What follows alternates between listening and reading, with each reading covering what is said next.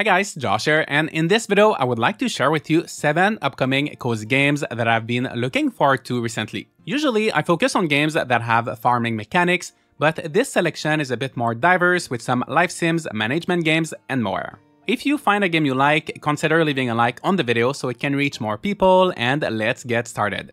First is a game that was revealed during the June Nintendo Direct, and I feel like it flew under the radar of a lot of people as I don't see anyone talking about it, and that game is the new Denpa Men. I was not familiar with this series until recently, but there were three Denpa Men games released for the Nintendo 3DS, and this new one for the Nintendo Switch will be free to play and release on July 22nd. In this game, you will have to find and catch these quirky little Denpa Men, customize them with different outfits, and send them in dungeons to take part in turn-based battles against monsters. In between dungeons, you will have access to an island that you can decorate by placing down houses, furniture, paths, and do side activities like fishing. To make things even better, the game will feature a 4-player local co-op mode where you and your friends can catch special Denpa Men together.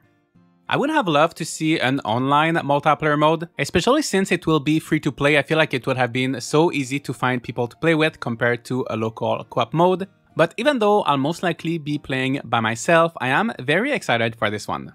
My only big concern with the new Denpa Men is that since it's free, I wonder what it will look like in terms of microtransactions or DLC, and if there will be any limitation to what you can do without paying. The 3DS games were about $10 each, and personally I think that I would have preferred also paying just a one-time fee for the Switch version, but we'll have to see how it goes when it releases in a few days. It seems to be a very niche, very unique series that not too much people know about yet, and I can't wait to experience it for the first time. The second game was also featured in the last Nintendo Direct, and it's Hello Kitty Island Adventure planned to release for the Nintendo Switch in early 2025. This is currently an Apple Arcade exclusive, it's been available on there for about a year, and it's pretty much Sanrio's take on the Animal Crossing-like life simulation game that takes place in real time. You create your character and move to this exciting island filled with different biomes and areas to explore, activities to do, and famous Sanrio characters to meet. I have not played the Apple Arcade version, but I keep hearing that it's surprisingly a really fun and high quality game, plus it seems like the gameplay is quite diverse with some platforming, riding minecarts, completing puzzles, as well as all of the usual such as fishing and decorating. I think that this will be a really fun alternative to Animal Crossing on the Switch, even if you're not necessarily a Sanrio fan, and if you've played the Apple Arcade version, I would love to hear your thoughts in the comments.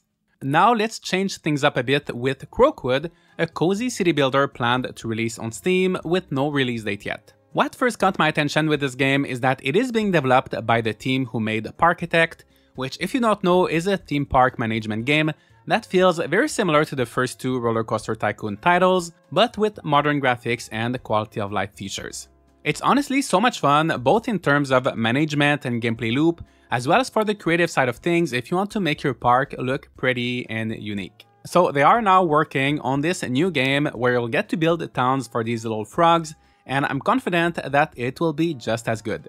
You will design and build structures piece by piece, plan and decorate your towns, and make sure that your frogs are thriving and have their needs met as they gather resources and build up your economy.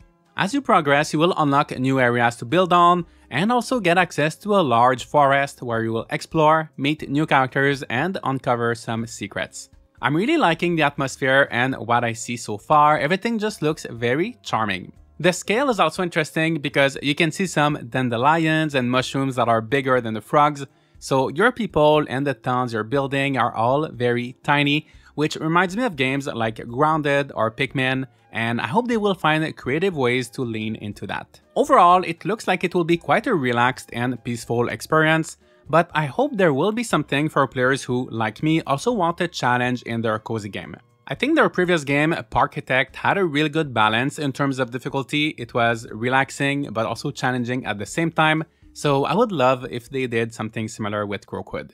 If you prefer managing a single building rather than a whole town, then you might enjoy the next three games, starting with Tavern Keeper. Just like Croakwood is being developed by the great team that's behind Parkitect, Tavern Keeper is being made by the developers of Game Dev Tycoon, another great management sim, this one about running a game dev studio. In Tavern Keeper, as the name suggests, you will play as a tavern keeper. You will start with a small tavern and you'll build rooms, hire staff, stock ingredients, and make sure that the fantastical cast of customers that show up are all satisfied.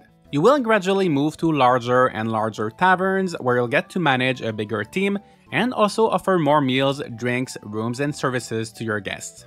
The game will keep things interesting with special characters that will guide you through a campaign, so it looks like there will be a bit of a story, along with tons of simulated details such as temperature, personality traits for customers and staff, possibilities for them to get sick, and other systems that will ensure that every day is different in your tavern, with room for unexpected events to take place.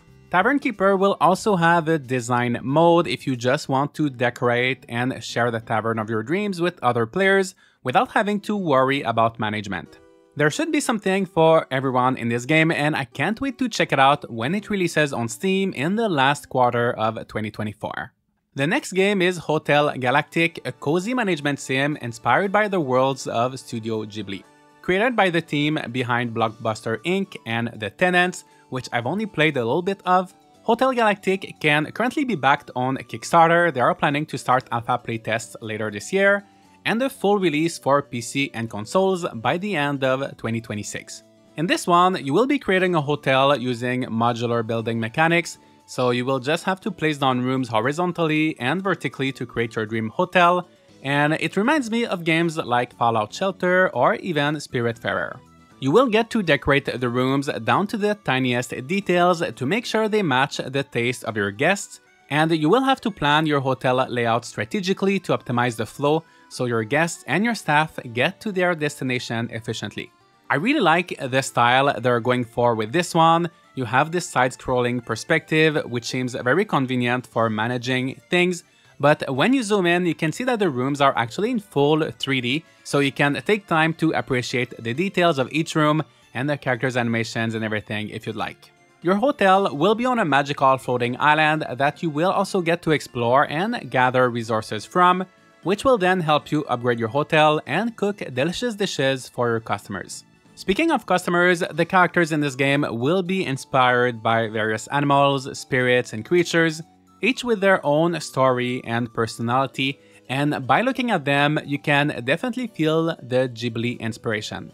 It will take some time before we can all play this game, but it looks like it could be quite a promising one. The next game could have also very well been titled Hotel Galactic. My Interstellar Inn will task you with building an inn in space. Not only will you decorate and manage rooms for your guests, You'll also be putting together a whole complex to keep them entertained. Restaurants and bars where you'll serve over 60 different meals and cocktails, a cinema, a bookstore, arcades, a spa, and so much more, all with various themes, styles, and colors to really make everything look however you'd like. You will also do some space farming and since you won't be on land, it will be a bit different and you'll have to make sure your plants get just the right amount of light, oxygen, as well as nutrient concentration so they can thrive. One thing that makes my Interstellar Inn a bit different from a lot of other management sims is it looks like you'll have your own character instead of just some sort of entity you never get to see like in most management games. You will also be able to befriend the different NPCs by completing tasks for them or giving them gifts, and 12 of them will be romanceable. It is a bit hard right now to get a clear idea of what this game will be like as there are only a few screenshots out there currently, but from what I can see and read, it almost feels like this will be a mix between your regular life sim game, where you fish, farm and befriend characters, and a management sim where you build and run an inn. You will also have a spaceship that can be used to mine in asteroid fields and hunt for treasures, which to me seems like the equivalent of a mine in traditional farming sims. That being said, most of the game will take place in the inn that you're building. My Interstellar Inn looks quite unique, it's also planned to release in 2024 on Steam, which I find a bit surprising since there's no trailer yet, but I'll definitely keep an eye out for this one. Lastly, we have a game that recently got a new trailer, and that game is Lou's Lagoon, currently planned for Steam and maybe consoles depending on how well their Kickstarter campaign goes, which should be launching sometime soon. In this game, your uncle Lou disappeared, so it will be your mission to find him, and on top of that, you will also have to take care of the seaplane delivery business that he left behind. You will fly from one island to the next with your plane, and upon landing, you will take out your Swirler 2000, a very handy vacuum that will let you gather and harvest various materials.